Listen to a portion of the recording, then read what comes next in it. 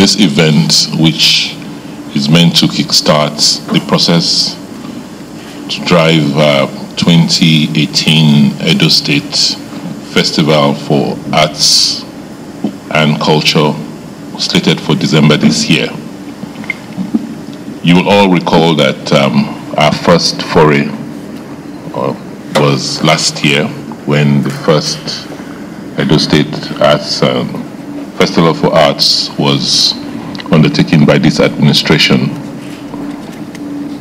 It was a good start, but sitting back to reflect and review the event for last year, we it clearly saw that it, the, the, an event of that nature holds a huge holds huge promise if we include people from the private sector who have that can do business attitude to um, projects. And so when the commissioner sent a list to me this year, I insisted that majority of the members of the committee must be non-government actors, people from the private sector, and preferably private sector that is present in Edo State. Um, as you all were aware, the main objective of the festival is to harness the rich cultural diversity of our people as a homogeneous entity, uh, such that we can display to the world and to our folks who come home over Christmas, the Christmas holiday, the richness of our culture and also provide them some leisure and entertainment.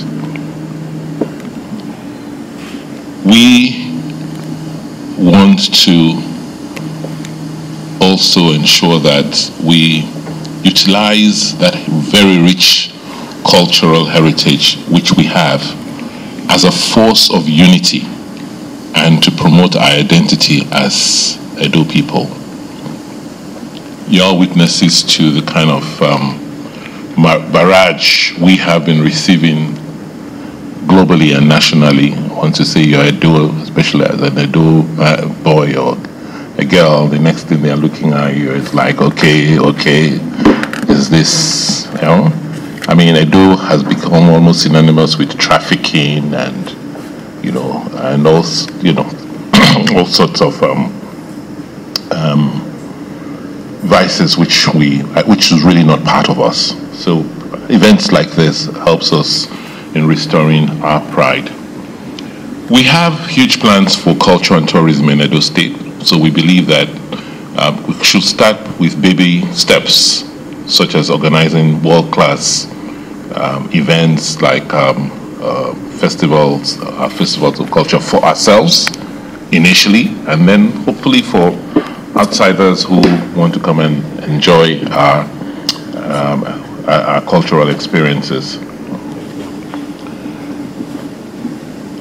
From the inception of this administration, while we were itemizing our purpose as a government, you know, in our thematic pillars, we said, okay, as a government, what is it that we have, we're setting out to do differently? One key anchor, you know, in addition to the other five, the other five being economic revolution, we want to, said we were going to focus on the economy, including agriculture and industrialization, that we're going to look at um, how to ensure that we utilize our position, our logistic position in the country to build uh, an infrastructure web that connects to the national infrastructure grid we said we're going to emphasize our environment, particularly our forestry um, resources and assets. We said we were going to make sure that highlights the socio-economic um, aspects of our society, particularly health, education, and the vulnerable. But one thing that stands out is that as the sixth pillar, we said we we're going to emphasize tourism and culture. because for us, those are major assets we have that, I mean, honestly, there are very few communities or societies or states in Nigeria that can boast of the quality of the cultural heritage and assets which we have.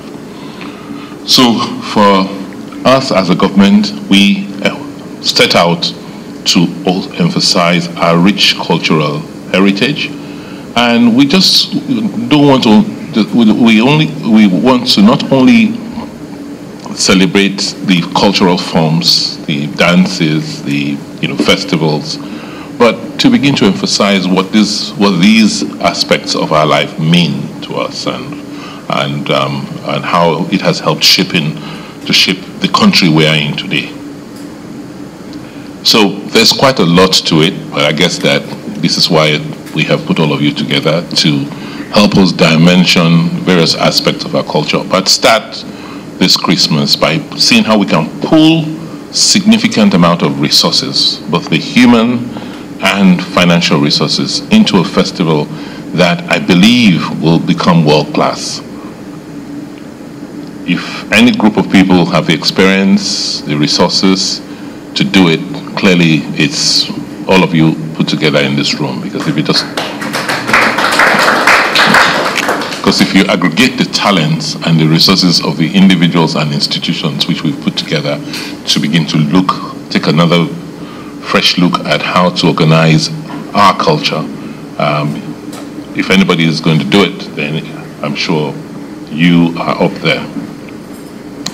On that note, I want to congratulate members of the 2018 Edo Edo Fest Committee and to assure you that um, we expect, or well, assure you that the government is very, very committed to the festival this year and that we really have very high expectations from you. I was glad we started last year, but something said to me, it can be much better. And so in planning this year, good thing we are starting early. We have three, at least four clear months ahead of us. And when I saw the final list, I was just so pleased and I signed off on it instantly because I know the I, I, I know of the exploits of many of you, particularly in the area of arts, and also the support which some of your organizations have always rendered or given to um, the arts and cultural events. On that note, I want to thank all of you and to now formally inaugurate the 2018 Edo State Committee for Edo Fest 2018. Uh, it's my great pleasure to be here today. And uh, I want to say a very big thank you, sir, Your Excellency, for approving the ministry and this committee to run this year's Edo Festival. Uh, like you said, the committee members are resourceful people from different aspects of life, both in the financial sector and private institute. We will do our best to make it a memorable event. We'll put in our best to make it a better one. And definitely going to be better than last year. We're going to improve on that. So we, they've come from far and wide to be here today and we're going to make sure that this year's event is a good one and a memorable one and will make you proud.